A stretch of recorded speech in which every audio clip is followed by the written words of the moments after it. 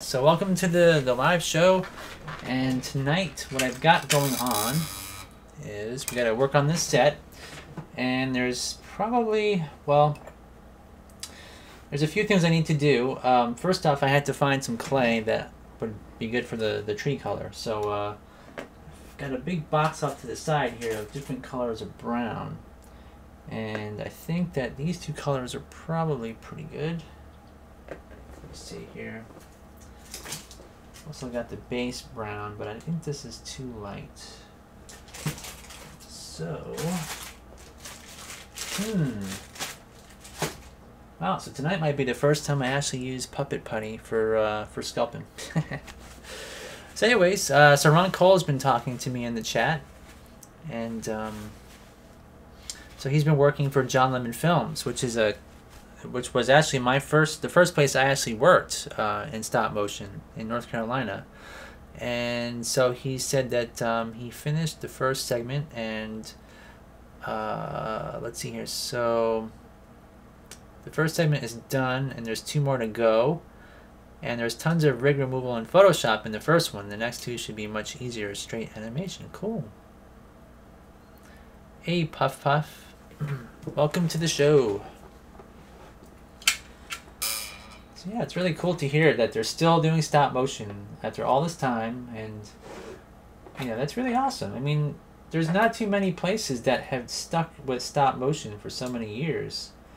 I mean, just think of you know even in California, all the different studios that have switched hands, and people that have started studios and or even just you know on their own tried to do animation and, and gave up, and so it is actually surprising to hear that you know even if it's just one person that sticks with it for more than like 15 years if you've done that that's you know you are you are a rarity honestly.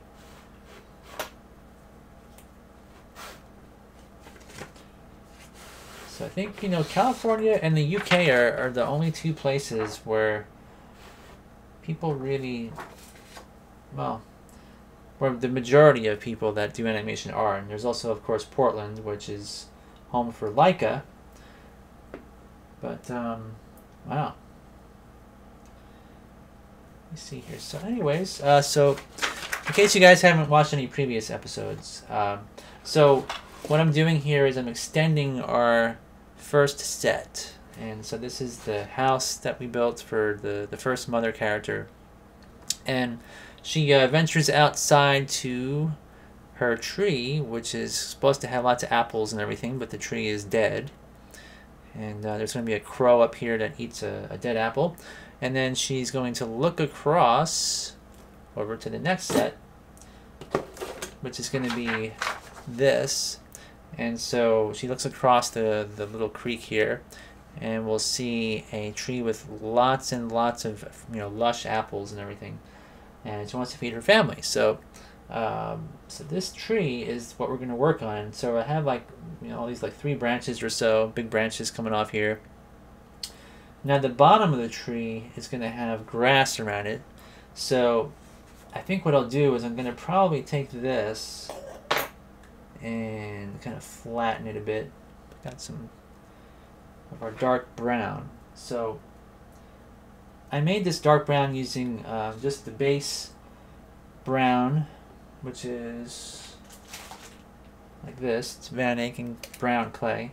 And I mixed in green with it, dark green, and so that's the result is you get a darker brown, basically. So if you want to make brown, it's uh, red and green together it makes brown. So the more, um, you know, you can make like a, a reddish brown by adding a lot more red clay, uh, you can make it darker using green. And depending on the kind of green that you use you can get a bunch of different shades. But this is the shade that I think was works pretty well. And I think here let me see what I did. So when I made this other tree there's definitely different shades of brown in there. So I either can't really remember because it's been about a year since I made that but has it really been that long? Or at least six months. But uh, anyways, I either mixed in clay, but I didn't mix it in all the way, and it just kind of um, is a marbleized kind of brown, or I added it. I can't remember which, uh, but you can add it afterwards. So, anyways, uh,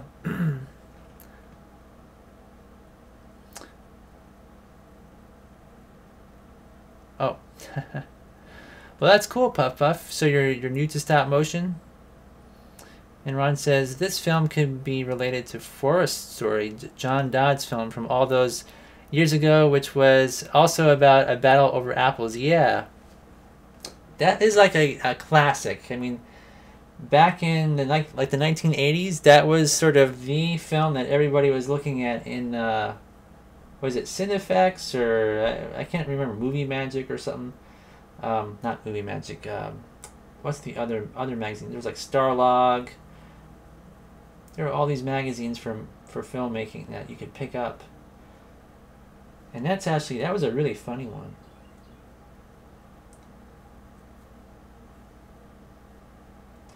Alright, so I'm gonna move this out of here. I'm gonna sculpt this not on this set. I'm gonna add it later. So let me put this where put some space here. That'll work. Alright, so I'm gonna actually flatten this out.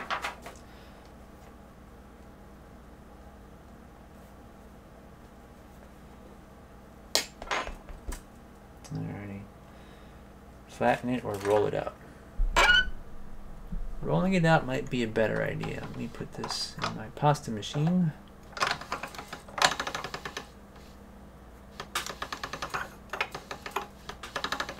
Okay. like this. Oops. Oh, was it Cinemagic? Cinemagic? Yeah. I mean, those were the days when it was really hard to find information about stop motion. So, if anybody out there got anything like John Dodds, when he um, got his film in that magazine, you know, anybody that was a stop motion fan pretty much saw it.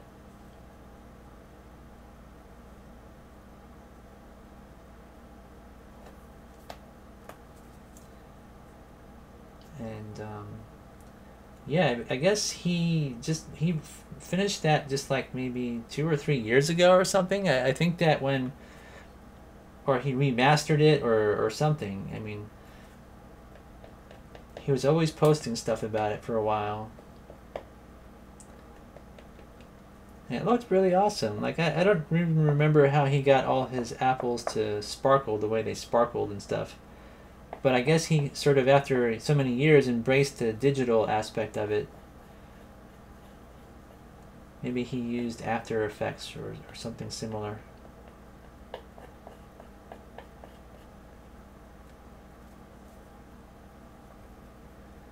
But um, yeah, it's that was a really cool film. I mean, there's there are a lot of really great older films that I think um, you know, it's it's sad that a lot of films that were made on film um, are just you know they're they won't be transferred digitally ever. Like Meet the Raisins from Will Vinton Studios, that was always one of my favorite you know projects, and I drew a lot of inspiration from that. And um, you know I remember you know trying to emulate the sculpting style and um, just collecting any sort of images and you know recording videos on VHS like all the TV specials and stuff like that I would record just because I wanted to keep it and watch it over and over like 5 million times.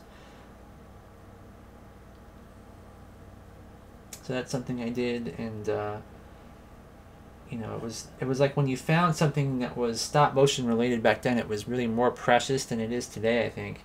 I mean, people take for granted the fact that the internet you could just go on there and you know watch literally hours of stop motion if you wanted to. There's a lot of you know pirated videos out there. You can watch all the Brothers Quay stuff, Jan Svankmajer. You just like you know, quick search, couple of clicks, and it's all right there. And when you know when Ron and I were growing up, and I think Ron Ron's a little bit older than I am, but you know I I was born in '75, so the whole 1980s when I was really young, and into the 90s, stuff like that was pretty sparse until the internet came online, and then you know people started sharing work and communicating about different projects they were working on and nobody really understood uh, how to do stop motion very well, like as a whole, you know. And stop motion capture software wasn't really out there so much, so you know, it's like, what did you do? Well, you could like buy a, a lunchbox, uh, Animation Toolworks lunchbox, capture things that way. Uh, Super 8 was still kind of, it was on the way out, heavily on the way out by like 1995 or so. But you could still get it developed and you could still project it and everything. So there were like the remnants of film which were still out there. You could still kind of, you know, do stop motion using the chemical process. And then digital cameras were starting to be created. And but the quality was really bad. So uh, and then trying to, to stitch pictures together and everything was um, there were not a lot of ways to do it. So now there's you know stop motion pro there's dragon frame there's you know, just tons there i think like um, monkey jam was really popular for a while. That was like one of the first stop motion capture programs was monkey jam we also carried some, uh, there's like Helium Frog Animator, which was out and wasn't updated, so that kind of sort of went to the wayside. Anasazi was also, I think Anasazi was the first PC capture program that was created. And it was, you know, for free. It's a free program, but um, you could you could do some basic things with it with the web camera and stuff. So uh, so Ron says he began a sequel several years ago after I finished my film. It inspired him. I haven't posted my first animation film ever yet. My friend from high school sent it to me and I keep meaning to post it. I should do that soon. Ron is saying he's born in 65. There was no internet for most of his life. And Puff Puff says, I was born in 74. Love all the specials too. And Ron says, I still have my Super 8 camera. All the car- careers of those from my generation began in that format. yeah, I have my 16 millimeter uh, Kodak Cine Special, and I did use a Super 8 for a while, and I borrowed it from Mike McKinney, who uh, he was my one of my first contacts in the business. Really nice guy, and he really helped me out a lot. He he sold me some uh, some lighting equipment from Will Vinton Studios, like three inch for three inch Fresnels, and uh, I think he sold me three of the light stands that they used at the studio. You know, it was pretty awesome. And then uh, Webster Colcord sold me some equipment. So I sort of, you know, from my contacts, was able to build up a little arsenal of um, abilities, you know, different abilities, lighting abilities, and um, but yeah, he Mike McKinney gave me a uh, Kodak Super 8 film camera, and it worked really good. I mean, it, it was like my first work was um, done that way, and then I went to a, a place in St. Louis that transferred it over to VHS. And then on VHS, I was able to, you know, uh, make copies of everything and make a demo reel for, you know, trying to find work. So the place in St. Louis was called CCD CCD Productions. Um, they they did all kinds of stuff for people but um, these days, you know, I don't even know if they're still around. I mean, they probably are. But I mean, people are so good at using things like Photoshop and After Effects and Sony Vegas and all that a lot of that stuff that they were doing was really almost impossible for the average person to do back then in terms of computing power and all that. So, you know, most of the old technologies that were there, people that were working in them and really good at it you know, they must have moved on.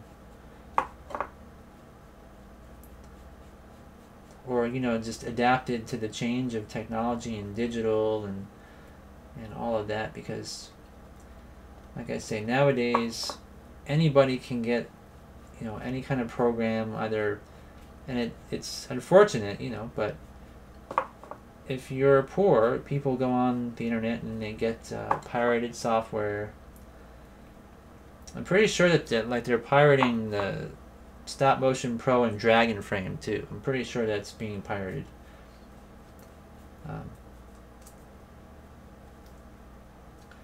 you know, pretty much any program, even like ZBrush, which is I think that I paid uh, 800 bucks for that myself. You know, I did pay for it.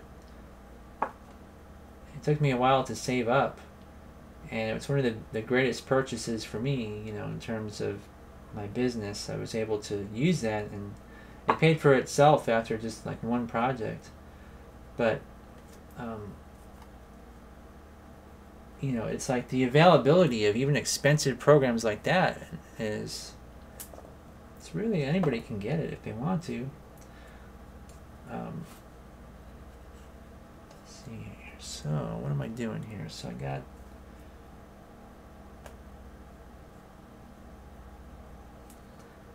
Hmm, so the question is, how will I texture this? How did I texture this one? So it looks like I used, use my special texture tool. Here it is. So here's my special raft shaped tool that I made. And I have a piece of brass uh, wire. I'm just going to kind of go in here and make some bark texture. Sort of looks like hair texture or something, but that's kind of how a tree looks.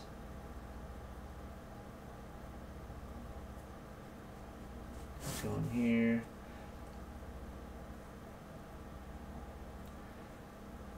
But um, so the point I was trying to make about that with pirating stuff is that just the ease of access that is you know for most people that can use a computer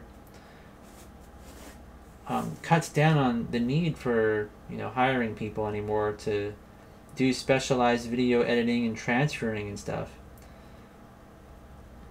But there used to be whole industries just around what you could do with Photoshop and After Effects. I mean, like just just adding titles on something back then, like a, a really uh, nice, crisp digital looking title was near impossible. I mean, you could. That's why most of the artists that made stop motion films, I mean, even to this day, you, you could still do it, but uh, they would, you know, use their artistic abilities to make some sort of intro or, or title or whatever. Um, you know, like if you create, it's like, you know, this film is animated by Ron Cole, you know, and just trying to, to do that required a lot of ingenuity and, and trying to solve problems where, you know, nowadays you just whip out Photoshop, use the text tool, look up a font, get a free font somewhere, and that's it. You've got yourself a nice, easy to read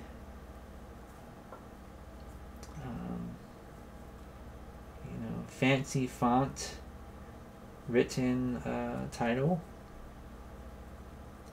You can even make your own lettering in there and resize it however you want. Like back then, you know, you would have to make sure that you he wrote things in such a way that the, the camera could see it. So it had to be a certain scale and everything, or and uh, you would use like Xerox machines to make things bigger and smaller.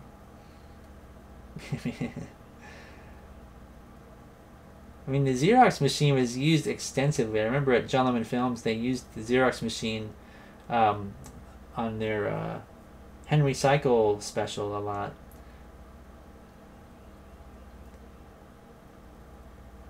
I mean, so much so that they actually bought one. They had one in their office, you know, just for the, the sake of um, making things larger and smaller for fitting, you know, in the in the camera view and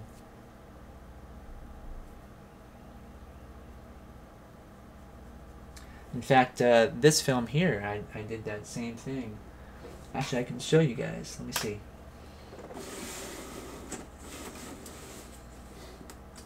So,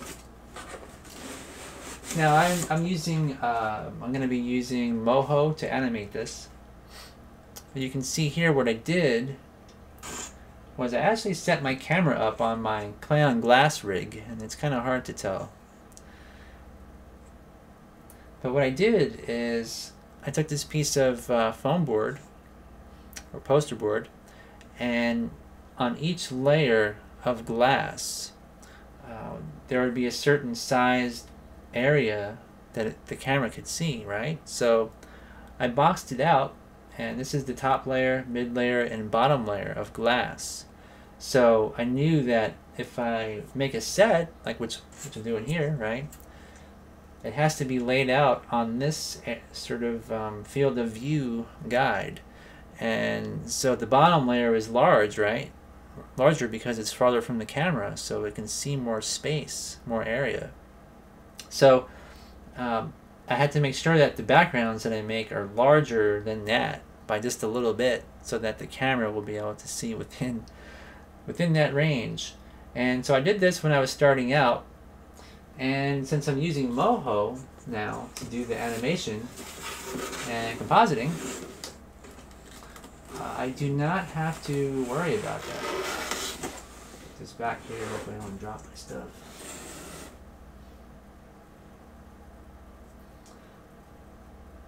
So uh, yeah, I mean it's that's the old way to do it, and nowadays, you know, using Moho, it's going to be much easier.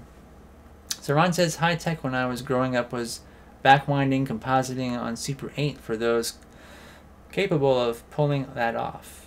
Yep. Those were the dangerous times in stop motion history. it's like, you know, oh, I want to have some sparks in my shot or something. Let me backwind my camera. And you're like, how many frames is it that I got to backwind? And you count it like one, two, three, four, five, six seven, eight. It's like, oh wait, was that nine or ten? You know.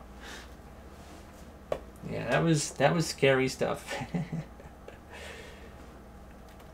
Alright, so now that I've done this, let's plop our tree on our set here. Um, I'm going to have to get this out of the way. I'm going to have to prop up the tree a little bit because it's bowed because it's laying on top of the other surfaces. I want it to be kind of, I don't want it to, to look that way. So I'm just going to kind of go on the back. Oh, get on there.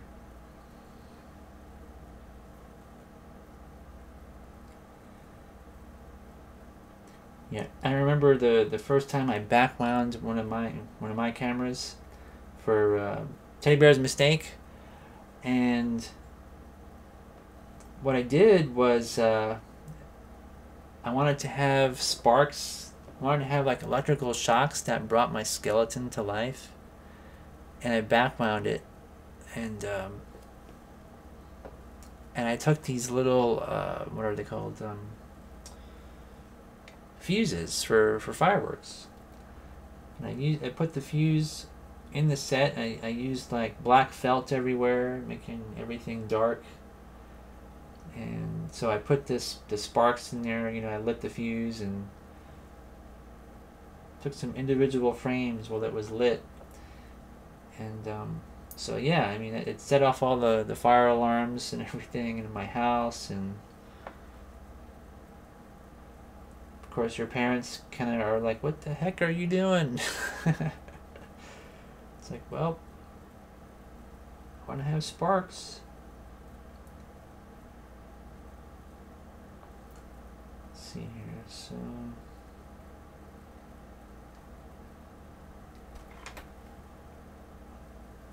Yeah, I don't think I would do it that way today.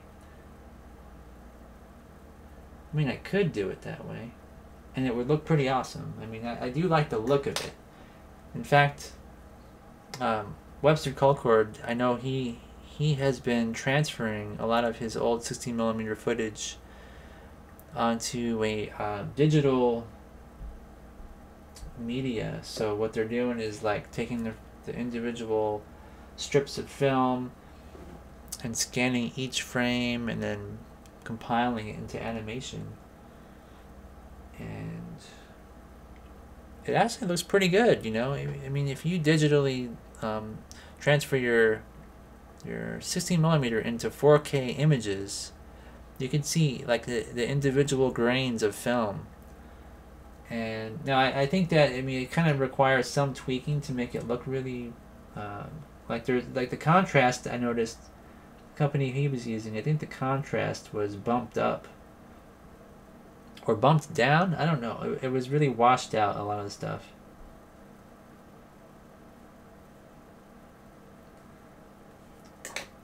So if you want to really make it look good, you still have to digitally fix it up, which is I think what Ron was saying. Like he's like uh, having some color correction done. Gentleman Films, uh, John is color correcting things. So it's I mean, digital or film, it's still the same rules still apply.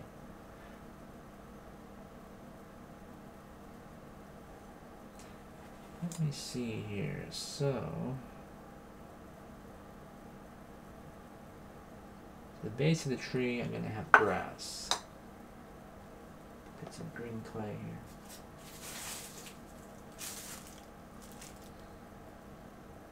Hmm. So which color was it? It's this one. Okay.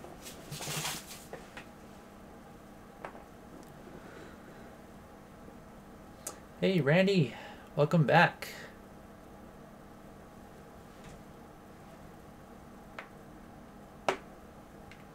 So this here is going to require a little bit of detailing because got to cover the entire base of the tree with grass. It's got to look good.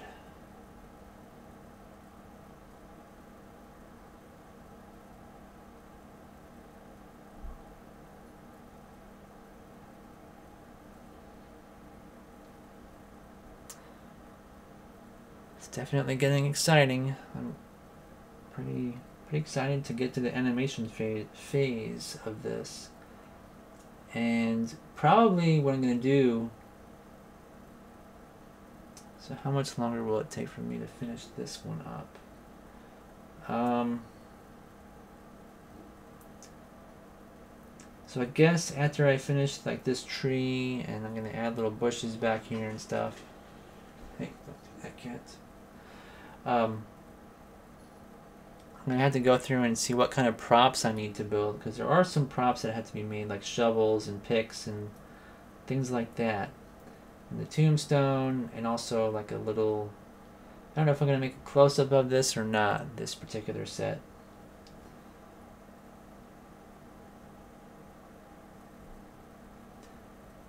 I think I might need to storyboard things out a bit.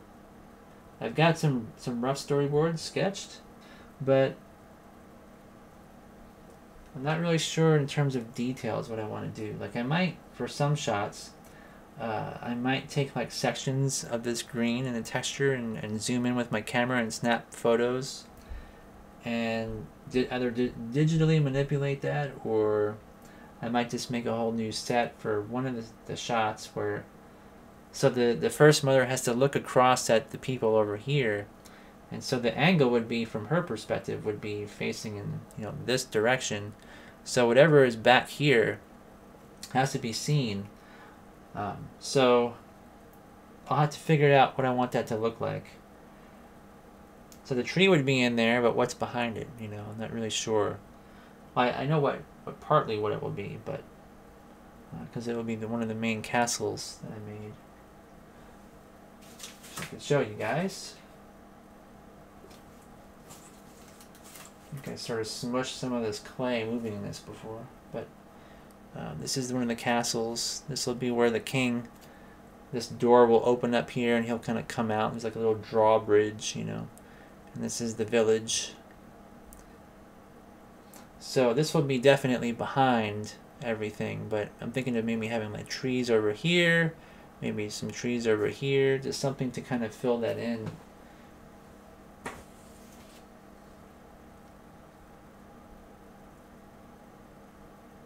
Or do I want trees? Hmm. So I mean, this one tree, if I if it's just one tree, it seems more precious, you know. So maybe that's all they have is one.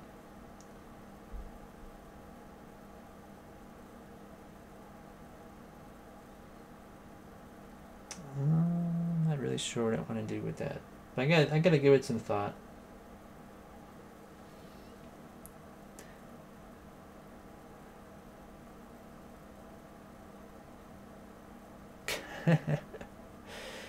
yeah, so Randy's saying the the light looks like a, a moon rising or something. Yeah, it does.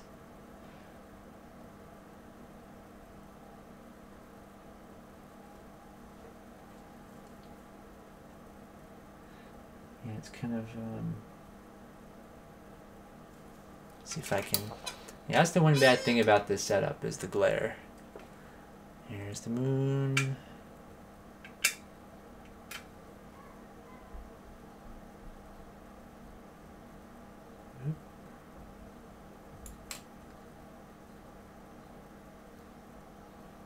sure what my son sees upstairs.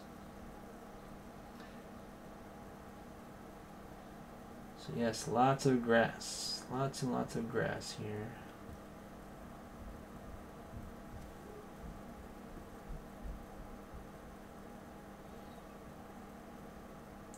And looking at this, so I'm looking at it on my, my web camera view, so this looks like it's kind of deep, this line. Maybe I should add a few more just to kind of So it looks almost like there's one stray deep line and the rest is kind of shallow. So just a couple more lines here. Deep one.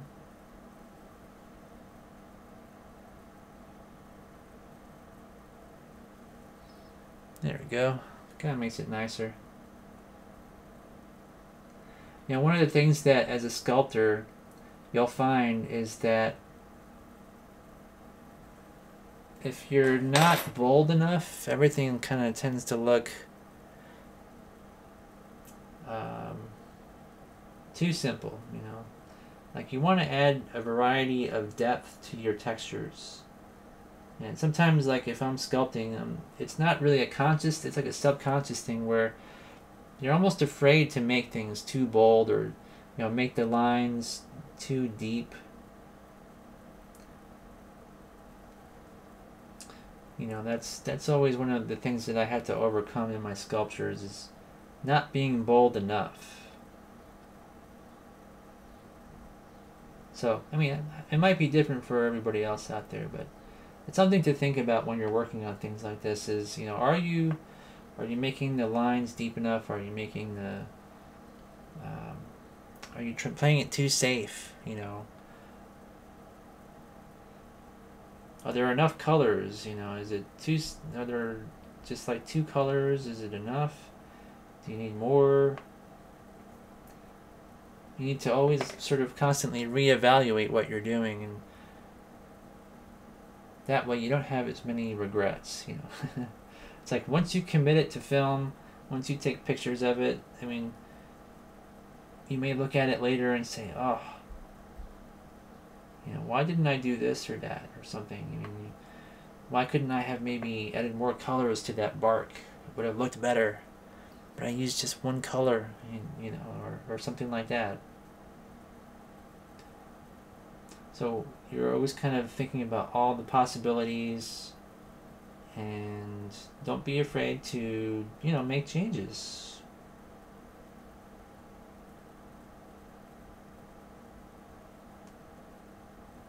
Okay, now with this, I'll probably need to add a few more um, colors of green. This is not enough.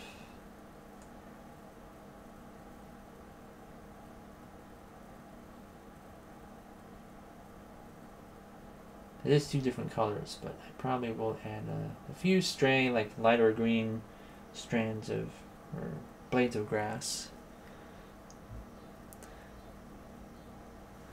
Let's see here. So, uh, Ron says, every time I go to my local art store, I think of Randy. It, um, it, it's across the street from Bob's Furniture Store. And Randy says, I do go to art stores, but I don't recall ever buying furniture from a Bob. and Ron says, Didn't you animate the original ad for Bob's? Maybe I have the name confused. Uh, hold on a sec.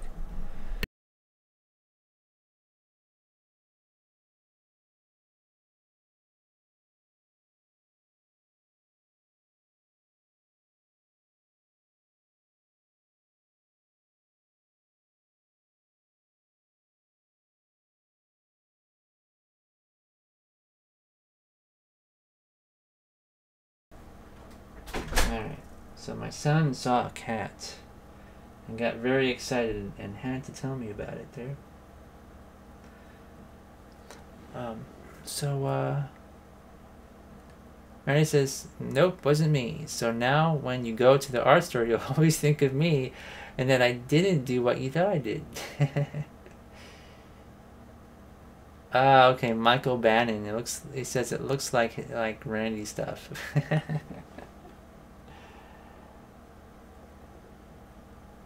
Yeah, it is easy to get conf- you know, there are people that have similar styles to Randy.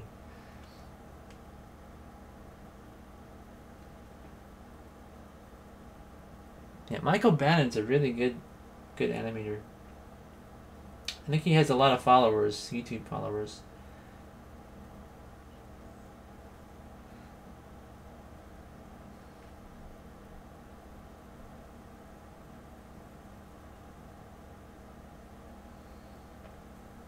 Okay, so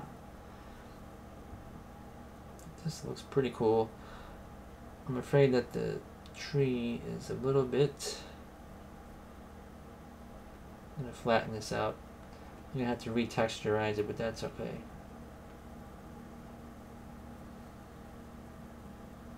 And texture is easy. Oops. I just made a mistake and my first thought in my mind was Control Z, Control Z. You can tell I've been sculpting too much on ZBrush when that happens. There's no Control Z in real life.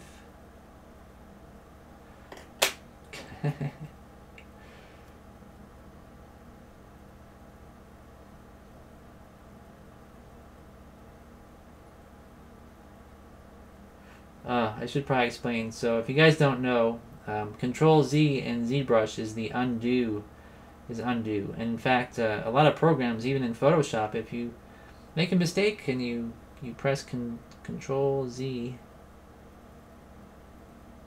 it will undo what you did.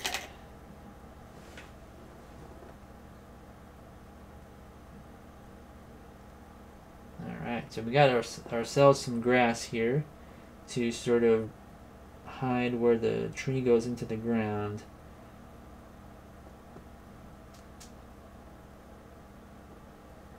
So kind of make some blades of grass.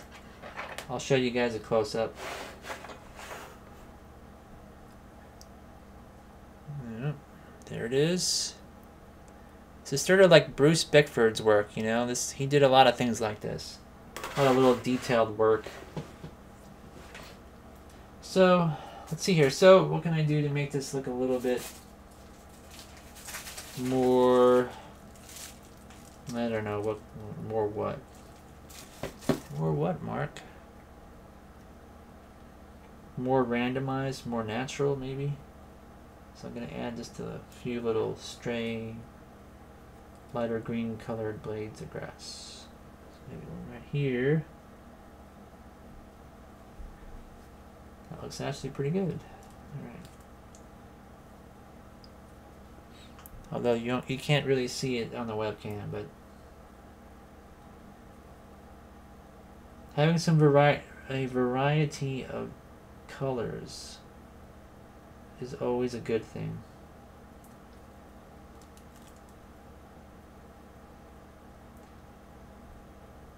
I have to say, I really like the green colored clays. I think green is an awesome color anyway, but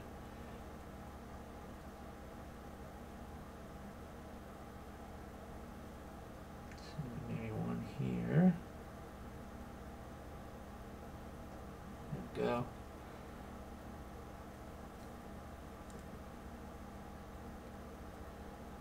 Something just about seeing a bunch of clay, you know, like looking at the colors, different green colors.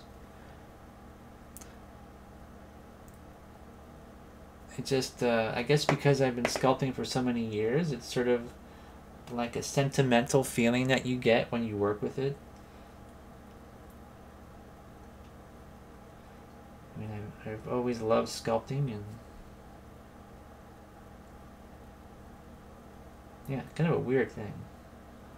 The brain is a very strange mechanism mechanism of organic computation. So um, let's see here. Um, hey Dylan, welcome. um, Ron says, well, at least I don't feel bad for you anymore. They went with CGI for those ads since then. I hate when Stop Mo gets booted for computer junk. Oh, yeah, there are some really junky computerized ads that I've seen. Especially here in the Midwest, you know, there's not a lot of people that do it properly. And it's not like there's any kind of Pixar in, in the Midwest or anything. But sometimes you see these car ads and stuff that just, they have these really super junky looking simplified uh, mascots that they come up with, you know. It's like, come on down to Bill's Auto Place and buy yourself a $200 car. Free air freshener upon purchase. You know, and they'll have like some mascot that says that and um, like a cowboy hat and a giant mustache or something and it moves almost like it's it's sliding around and flying or something on ice or you know doesn't move well it, it's just like the worst garbage and i understand people try and you know it's not really nice to make fun of artists that do stuff like that but um, if you compare it to, to like the domino's pizza noid or something like that it's just like wow there's a people don't put as much pride into into their work as they used to. Of course, that's a very gen- general thing, like almost almost being like um, anti-animation or something when I say that, but it's it's true in some cases, and it's like you you have this potential to make something cool, and you don't. Because it's cheaper you know it's like a money thing and there's so many awesome artists that are like yeah i would love to make advertisements. I have all these amazing abilities and but the problem is you got to charge money for that and a lot of people don't want to pay you know for what what you're worth All right, so I'm just going to go in here and actually, uh, I know I, re I added texture on here and I'm destroying it because what I want to do is I want to add some few colors of brown just to break this up a little bit.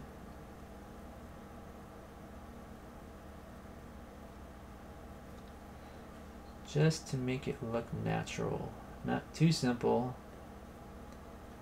Like I said, you don't want regrets. You don't want to do something so half-assed that later on you're like, oh, I should have at least done you know, added some more colors to that or textures. Unfortunately, there was like a streak of yellow in that brown, which it's almost too light colored now. Get rid of that.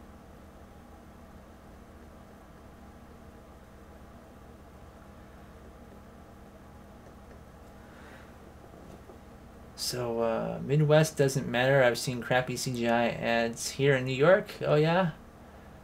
Even in New York, I mean, New York is like a super huge hub of creativity. They have all the amazing art colleges there and stuff in the city.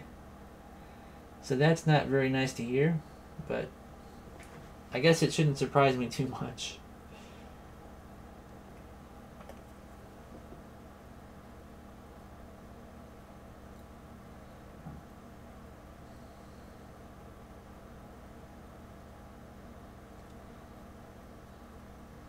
Wonder what the Chiodo brothers are up to. I think that um, they were working on that dinosaur project. Like the uh, Walking with Dinosaurs thing. So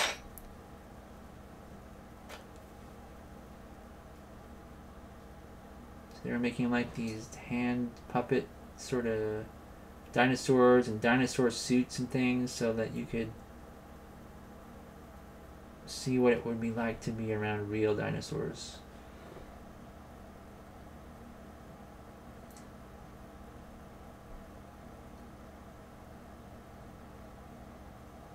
Alright, so now trying to see if I like this here or not.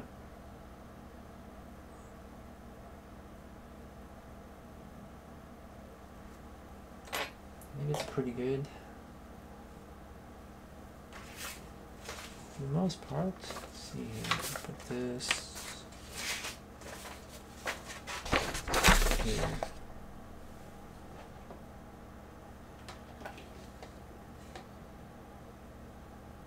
Hmm. So I want to put some oil on my brush I don't make a mess.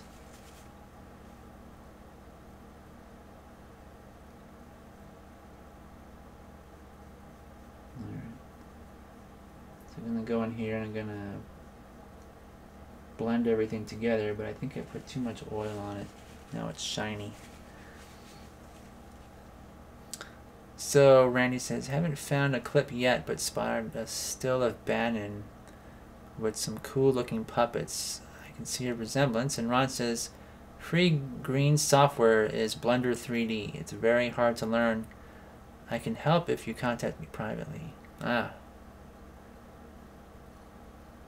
And Ron is saying Natron is also free. That's easier but not as good without plugins. So I've got Sony Vegas. I find that works pretty good actually. Um, I mean, there's I guess you can use uh, Premiere to do that. That was what I originally used was Adobe Premiere. But I found that the green screen option, at least on the version I had, was really... It worked, but it was pretty horrible, to be honest. It was not very good at all.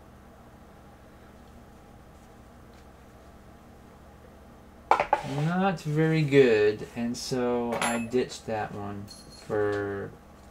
And I was originally editing my entire film using Premiere, Zombie Pirate Tales, and had a lot of it edited really well. It wasn't done yet, and um, so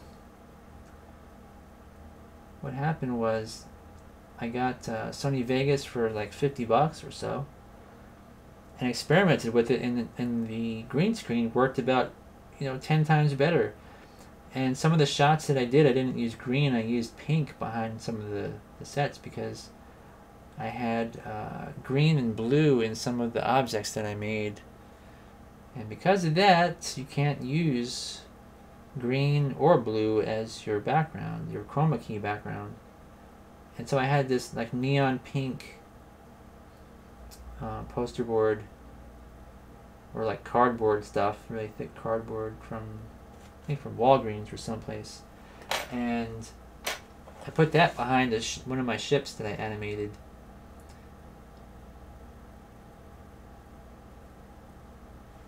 Alright, this is probably pretty good now.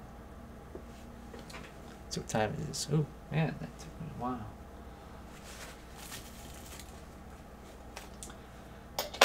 But um, the the Sony Vegas just it took that pink out of the, the shot and it was nice and crisp and clean and everything. Premiere couldn't do that, so I ended up having to you know transfer all my video from Premiere and then I opened it up in Sony Vegas and had to re-edit everything. It was a real pain in the butt.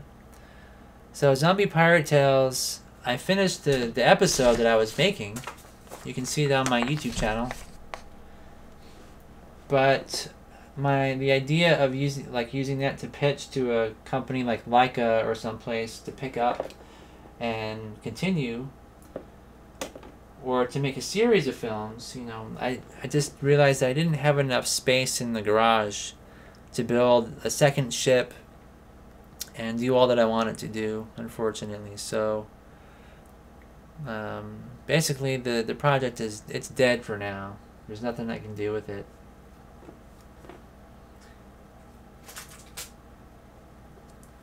And so that is the way it is.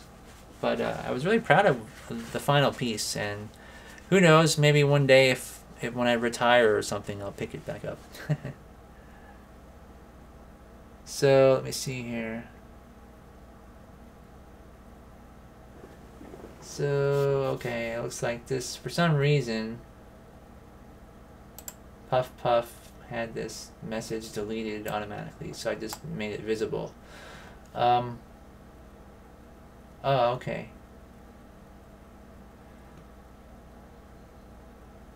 Yeah, that's cool. That's cool, Dylan. I hope you liked it. I mean, it just it took forever to create, and real life got in the way. You know, having gotten married when I first started making it, and I got married at the point when I started to make it, and uh, having a son and getting him into school and preschool and you know that just that changed everything for me. Let's see here. So i wasn't really able to focus on that film like i wanted to.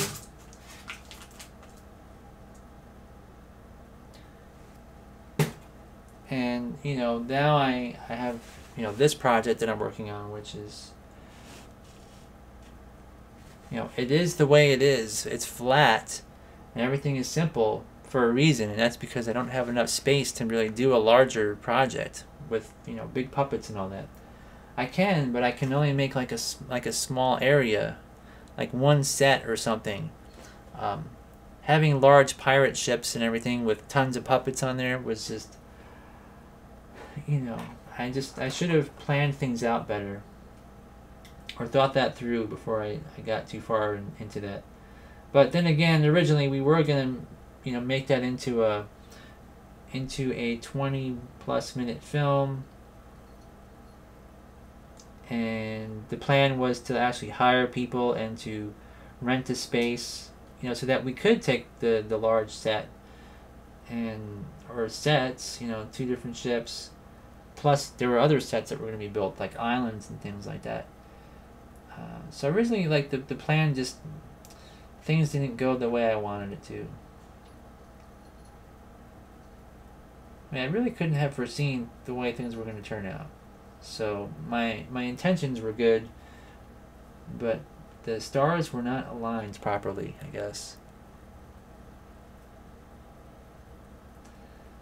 Alright, so I'm just kind of going in here and making things a little bit more bold in terms of all these textures so that it looks good to the eye. Like right when I you know when I look at it I did kind of make all this stuff uniform. Not enough variety of depth.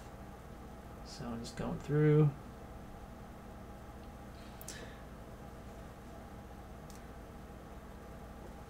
can't believe it took me one hour to, to make this tree and this grass Is that crazy?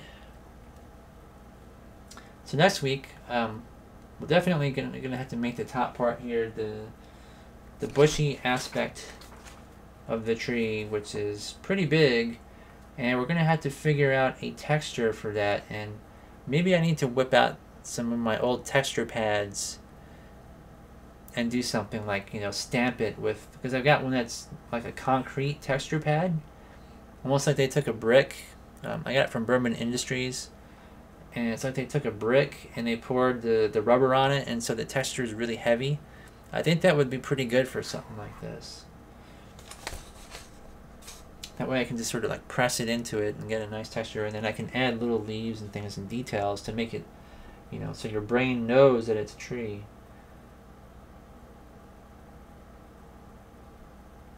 there we go I mean it was pretty cool though I have to say I'm not to brag about myself but I think that's what I was you know I had in my brain is what I actually got in clay so in that regards it's a success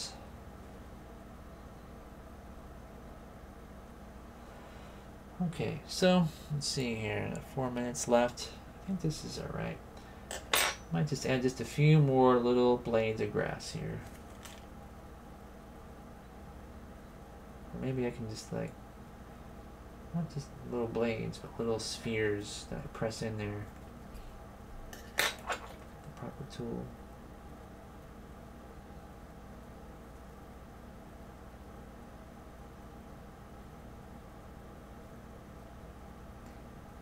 Got indentations. Little blobs. Got little, little of everything on here. Now I'll show you guys a close-up before we go, so you can see the progress.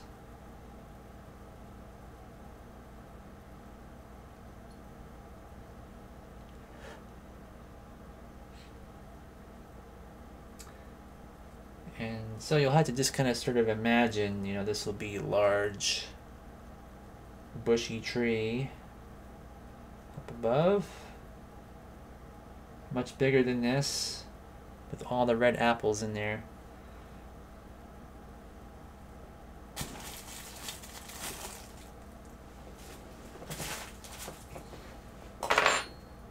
the magic is going to be when we put all this together in in the computer and uh, so here's where the here you can see the grass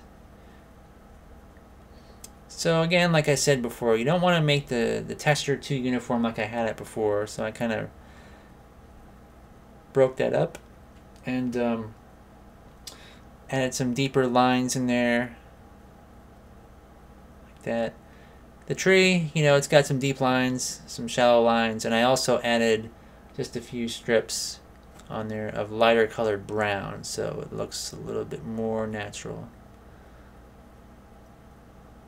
kind of neat. I mean I'm just kind of envisioning it on the camera here like having the characters around the tree you know eating apples and stuff. So I might actually not have to make a close-up set. I could actually zoom in maybe on this. And the characters around it still would look pretty good I think. Almost like an abstract set, you know. And you can't really tell it's super flat either. Look, I mean, you can, I mean you can, but it has a nice amount of depth to it. All right.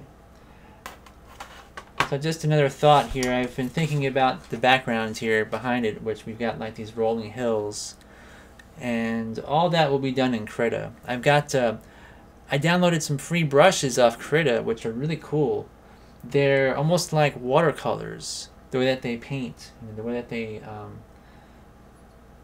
they kind of come out of the digital paintbrush, whatever you want to call it. Um, I also ordered uh, a new tablet because the tablet that I use is really tiny. I've got a really super small Wacom tablet. Not sure if I can stretch it out. Let me see here. Mm, well, yeah, I can. So you can see here the, the space is like 4 by 6 inches or something like that. And this is more for a CRT monitor. This is, you know, the like a 4 by 3 ratio. So using this on a, a modern screen, it just doesn't... You move your pen over to here, and in Krita, once you get to like this area here, it pops out off to the side of the screen. So my actual workable area is like maybe three by you know three by four something like that in here. So I can't really paint in that program very well. So um, I did get a, a new tablet which was about 70 bucks. It's like a, a knockoff of a Wacom tablet and has good reviews. So I'm gonna see how it works out. But uh, I will be painting um, everything behind the horizon line here. Now I'm gonna also I'm gonna, this is gonna be clay here like the bridge and stuff in the water most likely but everything back here will be you know rolling green hills with with this sort of watercolor um, brush that I got. And I might see I've got some some clouds that I made out of clay. But I don't know if I'll use clay. I think the abstract will be better sort of like what if you watch a Bambi the Bambi cartoon from Disney they sort of have just it's it's not very super detailed or anything. It's just an impression of what it would be so anyway, that's kind of the plan. I have a lot of ideas, and like I say, it's getting exciting now because it's this is the last main major set that I got to build. And everything else is just about done. So, anyways, uh, I do appreciate you guys stopping by and um, you know coming here just to chat for a little while. I know that you know it's kind of I don't know if it's exciting to watch watch me clay or, uh, sculpting clay or not, but um, anyway, it's pretty fun for me. I know that much. So I will see you guys uh, next week. See you all later.